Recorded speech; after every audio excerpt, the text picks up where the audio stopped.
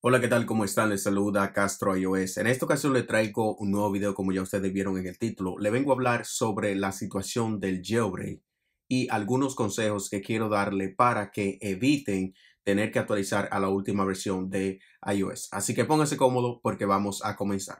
Con esta actualización ya no necesitamos parchar los tweaks para poder tenerlo en nuestro dispositivo, pero le quiero hablar de eso porque es muy importante para todos ustedes que quizás solamente tienen un dispositivo y están ansiosos por tener el jailbreak. Yo sé que muchos de ustedes están ansiosos de tener este jailbreak. Hace mucho que están esperando, pero lo que le quiero decir es que no intenten hacer nada de esto. Como ven, yo le he puesto algunos tweaks a este dispositivo, pero si en dado caso yo tengo algún problema o tengo que actualizar este dispositivo, yo tengo otro dispositivo que podré hacerle jailbreak en iOS 12.1.2 o cualquier versión de iOS que yo tenga, porque tengo varios dispositivos y están en diferentes versiones de iOS. Así que yo les recomiendo a todos ustedes que no intenten hacer nada de esto, a menos que ustedes sean desarrolladores y sepan lo que están haciendo. Yo sé que tal vez eh, muchos de ustedes dicen, pero si tú lo hiciste, ¿por qué yo no lo puedo hacer? ¿Por qué tú no muestras un tutorial?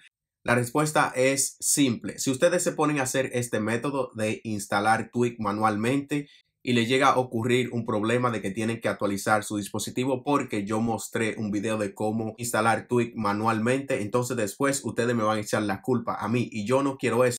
Yo mejor prefiero que ustedes esperen a la versión final de este jailbreak que ya esté estable, que tenga Cydia o Cilio, cualquiera de los dos que vaya a tener, para que ustedes no tengan que pasar este proceso de instalar Tweak manualmente. A pesar de que es un proceso bastante tedioso, tiene mucho riesgo de hacer algo mal, de que ustedes quiten algún archivo, de que lo eliminen y su dispositivo se le quede en el logo de Apple. También ayer Apple dejó de firmar iOS 12.1.1 y iOS 12.1.2 había una posibilidad de todavía bajar a iOS 12.1.1 con la beta 3, pero también esa versión ha sido dejada de firmar. Así que no hagan nada que le pueda causar que tengan que actualizar su dispositivo. Por eso hago este video. Yo mostré en mi Twitter eh, que tenía este dispositivo y con algunos tweaks y muchos de ustedes se volvieron locos que hicieron tutorial y todas esas cosas. Por eso estoy haciendo este video ahora, porque no voy a hacer un tutorial hasta que no salga este jailbreak para el público. O sea, que ya no esté en fase beta y que tenga Cydia, que ustedes puedan instalar los tweaks directamente desde Cydia. Así que espero que entiendan, no es que yo no quiero hacer un tutorial, pero prefiero no hacerlo porque después no quiero reclamo como ha pasado antes. Así que yo prefiero no hacer nada de esto.